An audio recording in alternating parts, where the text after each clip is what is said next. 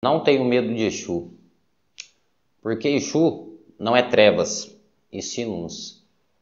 Não tenho medo de Exu, porque Exu não castiga, ensina. Não tenho medo de Exu, pois Exu não me prende, não me segura, mas me orienta. Não tenho medo de Exu, pois Exu não é maldoso. Ele apenas mostra o nosso caminho. É, muitas das vezes a gente fica se perguntando: por que usar o preto? O vermelho? Por que, que as vestes de Exu é preta ou vermelha? Antes usar uma veste vermelha e preta do que ter escuridão dentro do peito. Concordam comigo? Muitas das vezes eu uso uma guia, um colar vermelho ou preto. Quantas pessoas que não se prendem a coisas fúteis? Isso é apenas um medalhão, é um símbolo. Outras pessoas dizem que a caveira simboliza a morte. E muitos Exus têm a caveira como seu símbolo. É uma coisa de se pensar, né, pessoal?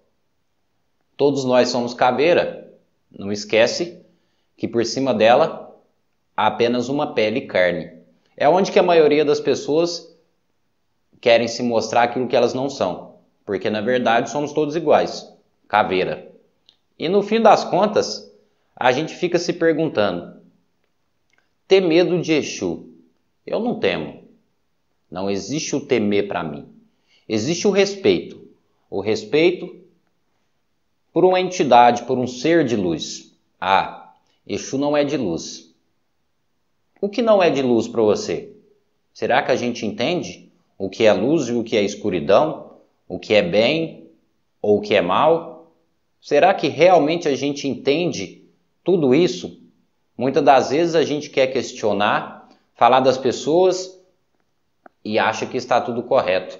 Muitas das vezes a gente critica nós mesmos e, mesmo assim, a gente continua a temer Exu. Exu não precisa ser temido, e sim respeitado. Na verdade, a gente tem que temer a nós mesmos, porque o ser humano é mentiroso. Exu é guardião. O ser humano apunhala pelas costas. Exu dá caminho. O ser humano atrasa esse caminho. Não tenho medo de Exu. Eu tenho respeito. Não temo Exu porque ele me orienta. Ele é meu caminho. E aonde que eu vá, Exu está comigo. Pessoal, vamos entender uma coisa. Existem muitas pessoas que temem a Exu, às vezes pela sua veste, às vezes pela sua risada, às vezes pelos seus trabalhos. É, é onde que esse mundo está um pouco perdido, né? A gente critica tanto o Exu por trabalhar muitas das vezes nas trevas, mas não vê que muitas das vezes as próprias trevas somos nós. É, Exu é guardião, é aquele que protege.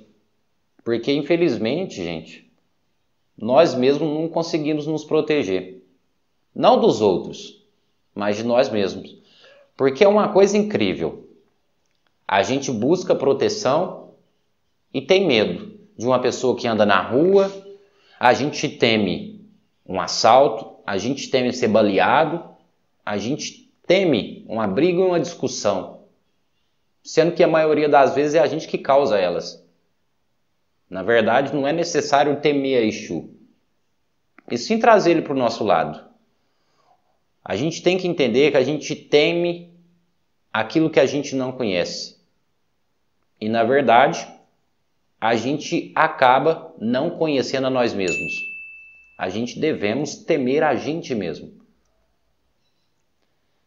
Nunca se sabe da capacidade de um homem ou de uma mulher. Exu não mata, Exu não castiga. Quem faz isso somos nós. E mesmo assim tem gente ainda que teme a Exu. Tem gente que diz que Exu provoca maldade e faz as pessoas ficarem ruins, faz a maldade para outras pessoas. Será que realmente é Exu que faz maldade? Ou será que é a gente mesmo? É, pessoal. Eu acho que em vez da gente criticar uma entidade que não se faz de corpo presente, e sim espiritual, a gente devemos nos criticar primeiro. Será que realmente a gente anda no caminho certo? Será que realmente, ao invés da gente estar usando preto de vestes, ou será que o negro, as trevas, está no nosso coração? Será que a gente tem a capacidade de nos tirar das trevas, entrar nela, mas em conseguir enxergar a luz lá no fundo e conseguir sair? É, é complicado essa coisa. Pessoal, eu vejo muita gente, não só um bandista, não só candomblecista, até eles também, acabam temendo Exu, a força de Exu. Dizem que Exu é mal, dizem que Exu pode fazer muita coisa e muitas das vezes até dizem que Exu castiga. Para para pensar, gente. Quando você era criança, um castigo não te ensinava bastante? Hum, sim. O que, que um pai e uma mãe faz quando eles querem corrigir um filho? Eles castigam para que o filho possa aprender e crescer na vida. Creio que a maioria vão concordar comigo. Então, se Exu castiga, se Exu pega no seu pé, significa que ele é mau? Significa que Exu é ruim? Creio que não. Então eu não temo Exu. Porque Exu castiga? Hum, acho que não é bem assim. E outra coisa ainda, muita gente diz, mas Exu acaba te trazendo o mal que você mesmo fez. Isso é maldade. Não. Isso não é maldade. Isso é simplesmente a lei do retorno. Exu não fez nada demais. Exu não provocou mal. Para que temer Exu? Você deve temer o que você fez, que provavelmente um dia você vai acabar colhendo isso novamente. Aí você diz que Exu é culpado? Acho que não. Eu acho que o culpado de toda maldade são nós mesmos. Vamos parar de temer Exu. Exu simplesmente quer respeito. Temer não. Temer eu acho que, que é uma palavra pesada, né? Pessoal, Exu é guardião, Exu é protetor, é caminho, é luz. Mesmo que às vezes trabalhe nas trevas. É, existe um equívoco muito grande. Não significa que trabalhar nas trevas você faça parte dela. É a mesma coisa uma pessoa que trabalha no lixo. Ela tira seu sustento do lixo, mas isso não significa que ela é um lixo. Totalmente ao contrário. É uma pessoa esforçada e que muitas das vezes tem um bom coração. E muito melhor do que aquelas outras pessoas que trabalham ali toda bonita. Aí é onde que a gente tem que pensar. Aquele que muitas das vezes trabalha no lixo, ele tem muito mais caráter do que aquele que trabalha todo engravatado e bonitinho. Gente, não vamos temer Exu, vamos respeitar.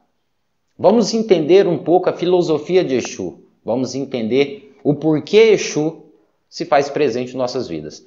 Tá ok? Pessoal, isso é apenas uma mensagem que eu resolvi trazer para vocês, que eu achei interessante, né? Espero que vocês tenham gostado e compartilhem, compartilhem esse vídeo compartilha com o primo, compartilha com a amiga, compartilha com aquela pessoa que muitas das vezes nem sabe o que é trevas, não sabe o que é Exu e muitas das vezes teme Exu. Compartilha. Espero que todos tenham gostado. Até o nosso próximo vídeo e axé a todos. A sineta do céu bateu, Oxalá já diz que é hora. A sineta do céu bateu, Oxalá já diz que é hora. Eu vou, eu vou, eu vou ficar com Deus.